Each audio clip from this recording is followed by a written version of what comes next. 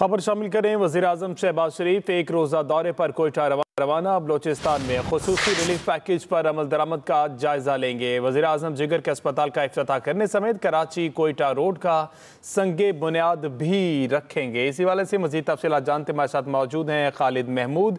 जी खालिद, आगाह कीजिएगा वजी अजम के इस दौरे के हवाले से। देखें जी वजी अजम शहबाज शरीफ जो है, वो एक रोज़ा दौरे पर कोयटा रवाना हुए हैं। नेशनल पार्टी के अख्तर मैंगल ने उनको इस दौरे की दावत दी थी। और इस दौरे के हमरा उनको एहसन इकबाल असद महमूद और अख्तर मैंगल भी उनके साथ हैं। वज़ीर अजम जो है कोयटा में आज इंतहाई मसरूफ दिन गुजारेंगे और कोयटा में खुशदार कुछ लाख कौमी शाहरा के सेक्शन वन और सेक्शन टू का संग बुनियाद भी रखेंगे।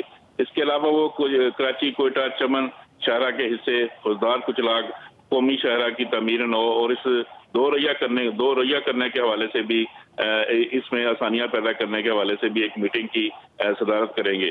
इसके अलावा जो इंतजामी मामला हैं, बलोचिस्तान में, वहाँ अपने अमन अमान की जो सूरत हाल है, उसके हवाले से भी, और खसूसी तौर पर जो रमज़ान पैकेज है, उस पर अमल दरामद के हवाले से भी आज एक जायजा इजलास करेंगे और उसकी सदारत करेंगे। इसके अलावा जो एशियाई खुर्दोनोस की बलोचिस्तान में किल्लत है, उसको दूर करने के हवाले से, और उनके नरखों से मतलब जो शिकायत हैं, उनके अजाला के लिए भी अहम सदारत करेंगे। इसके अलावा वहाँ पे जो पॉलिटिकल लोग हैं, जो जगह के लोग हैं, जो सरदारान हैं, इलाके के, उनके साथ भी उनकी मुलाकात है, जिसमें वो सियासी सूरत हाल और बलोचिस्तान में जो अमन अमान के क्याम के हवाले से हुकूमत की हुकूमत की कोशिशें हैं, उन तमाम सूरत हाल से उन अमायदीन के साथ भी मुलाकात करेंगे। जी। जी, बहुत शुक्रिया खालिद महमूद।